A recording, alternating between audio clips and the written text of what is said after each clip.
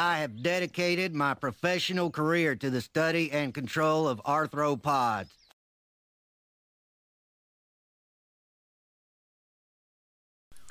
Good morning. So today I'm going to talk about uh, intersexual selection. Um, but before I start, you know, I looking outside today. It's one of those rare, beautiful sunny days here in Juneau. Um, and days like this always take me way back to my childhood, and you know, the long, long summer hours spent just pretending.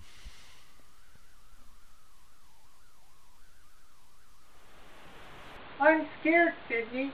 I don't want to do it. I want to see my parents. Finish the simulation, Lithodid Man, and I'll see what I can do. Oh, anyway, um, so back to uh, intersexual selection. Um, I'm gonna uh, kind of do some discuss kind of the, the, this concept a little bit, and then I'll get into some examples. This is probably going to be several parts. Okay. So, um, intersexual selection. This is the the battle between the sexes, is what we call it in our society. Um, you know, that's a social construct, but biologically, there really is a battle between the sexes. Um, even even no matter what, you see the you know the lovebirds, whatever, they're at war with each other. It's in a biological sense. Um, so I want to kind of get get some get some ideas across here. Uh, first of all, a lot of people don't understand why the sexes would be battling in nature. Um, you know, common goal. They have offspring. They both want to have children. They both want to put individuals into the next generation. In evolutionary biology, we talk about the winning strategy um, is the individual that puts the most offspring into the next generation, right? Um, and with sexually reproducing species, one of the things you have to think about this is where the sort of the war begins. Um, is that for a species, an asexual species, a cloning species, they put every one of their offspring has 100% of their genome. Does that make sense? You're copying it. You're just making a photocopy of yourself, and there's my baby. Looks just like me, right?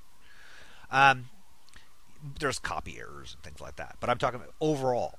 A sexually reproducing species, the best that they can hope for is 50% of their genome into the next generation, right? Into each individual offspring can have 50%. If they have two offspring, however, they can potentially have all of their um, genetic potential into the next generation, but it's in two individuals. Likewise, every copy is is one more percentage higher. Uh, that's what we call reproductive success. That's how you. That's how you.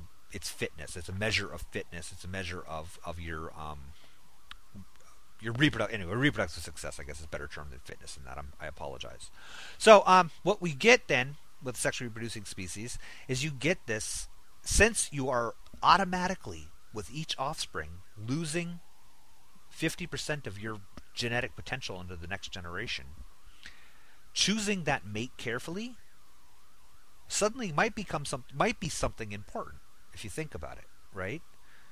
Um, do you want does as a female do you want to mate with the male who has 90% of his offspring you know drop dead after they hatch out of the egg? Is that is that the individual you want to mate with? Sorry, I had a phone call there. Um, so this um, that example of the male who produces has a 90% mortality rate of his offspring is a really good example and actually leads right into my next the next step or next explanation. Um, so, as you probably are aware, um, in in at least some taxa, specifically uh, mammals, birds, um, although it applies really applies across the animal kingdom or plant kingdom, fungi, whatever, you know, all of those. It, it it's it's prevalent. Is you find that um, the actual cost of reproduction for a male is very often different than the reproductive cost for the female. All right, um, this this it, this actually works on many different levels, um, but on a really basic, on a, what they call a gametic level, right? The actual gam- gamete production, sperm is cheap. An individual sperm cell contains very very little energy. Um, it doesn't take a lot to produce. Um, during uh, meiosis, every single every every a, a, male can produce four sperm at a time through meiosis. Um, these kinds of in, in mammals. So we got that, and then so it's it's a fast process. It's an easy process. Sperm's easily replaced. It's it's easily wasted. It doesn't cost much to waste it, um, as some of us know really well. Um, females, on the other hand, egg production is costly.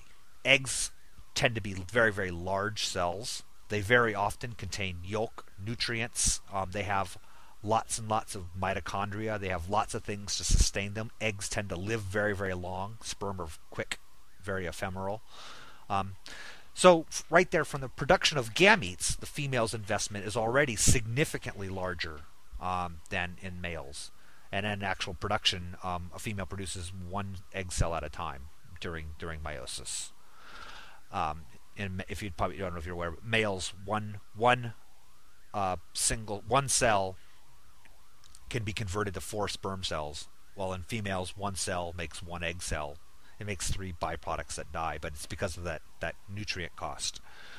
Um, so anyway, that's like really uh, an important something that has to be taken into consideration. And then after that, if you've got a species that's gestates, the offspring's growing inside the female, or the eggs are developing inside the female to a certain point. Um, you've got the fertilization process. You've got the female is taking gametic products into her body. Um, she's got the uh, afterwards raising offspring, oftentimes, uh, at the very least, brooding the offspring to hatching, if not taking care of them after that fact. And um, this is often with or with or without male's help. But the point is that overall, there's a tendency for females to invest more energy into each individual offspring than males do males tend to not invest, obviously, not as much. Um, and that's that's that changes a lot when you get to social animals, and changes more when you get to pair bonded monogamous animals and these kinds of things. So these issues, um, it, it it, it changes the equation slightly, but the rules still apply. Uh, sorry, keep track of time here. I'm going to make again make this in several parts because this is really critically important. So back to my example. Here's a male who every time, every single time. He he mates. He has ten offspring. Nine of them die. One of them uh, overall survives. Okay, that's just the way some genetic defect. That's the way it is. They hatch out of the egg and they fall over dead for the most part. Is that a huge cost to him? Okay, let's pick a species where there's no male care whatsoever. The male just flies around and mates with females as he encounters them. Okay? he can mate with 10 more females, right? Suddenly he's, you know, there you go. There's his 10 offspring for that year. He's got them.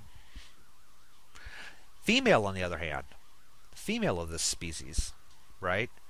She wants 10 offspring this year. What can she do? Should she mate with this male? Can she produce 10 clutches of eggs so that she'll get 10 offspring that survive? What's the cost on her body and her time and her and her energy and everything. Just simply, you know, is it even possible? Or is she going to want to choose a better male? She's going to want to choose a male has a better success rate of offspring. So that gets down to the question of how does she know? You know, we talked about, you know, the uh, Wallacean fitness, the tail of the peacock means good genes. So if, if this male's got a big tail, hey, he must be one of those. But does that tell you about the mortality of his offspring? What does that tell you? Does, does that contain truth in advertising? Um, and how does the female know? Obviously, females can't genotype potential mates in the, in the animal kingdom. Humans can now. We can actually genotype our, our mating partners. Uh, most of the animal kingdom doesn't have that option. So, how does a female know? So, this is when we get into really, really some cool examples. I'm going to stop this now and go to part two.